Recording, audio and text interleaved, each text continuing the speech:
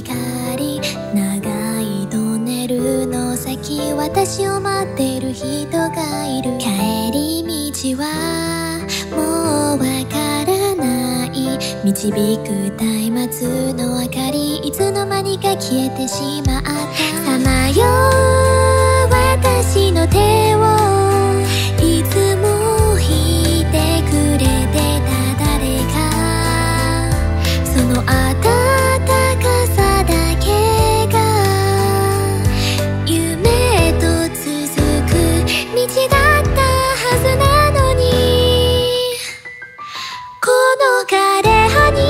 私の知恵を託して。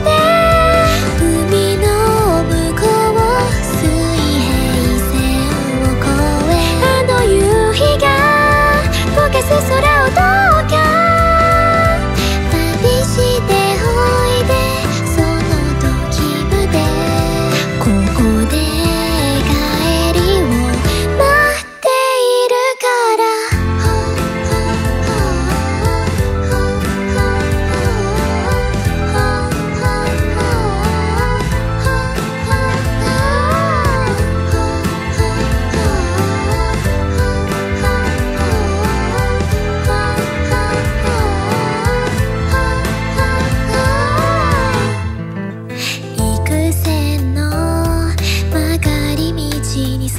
いてまっすぐ進むことが正しいんだって信じてた。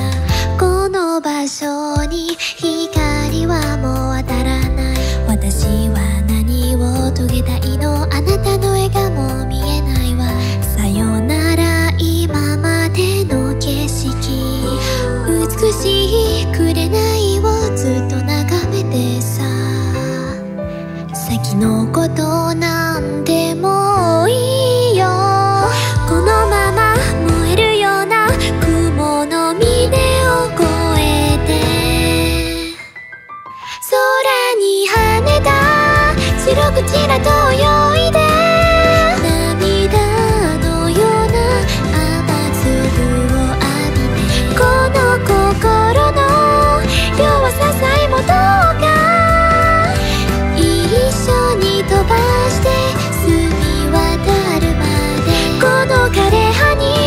私の自由を託して